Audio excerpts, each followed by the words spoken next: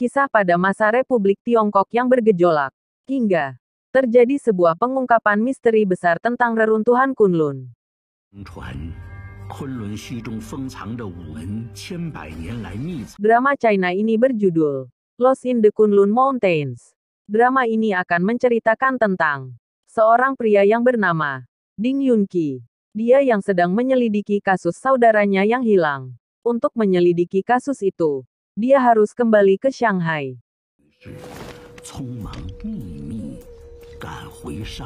Setibanya di Shanghai, Ding Yunqi bertemu dengan seorang pria yang bernama Luo Yunsong. Dia merupakan seorang panglima perang yang terkenal sebagai penyelundup barang peninggalan budaya. Hingga Ding Yunqi pun menyelidiki tentang reruntuhan Kunlun. Sampai dia menemukan rahasia di balik reruntuhan Kunlun itu. Konflik pun makin memanas. Ketika banyak pihak yang mengetahui maksud dan tujuan Din Yunqi ke Shanghai.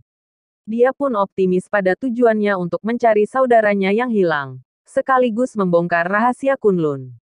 Dalam proses pencarian tersebut, dia akan bekerja sama dengan seorang wanita yang bernama Wu Suang. Dia merupakan seorang gadis pemberani dan belak-belakan. 湖北的总舵来到上海分坛，已经三个月了。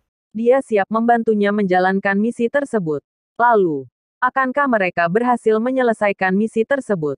Dan, apakah mereka akan terjebak cinta dalam proses pencarian tersebut? 现在全世界在找你爹，我们一直暗中监视你们家。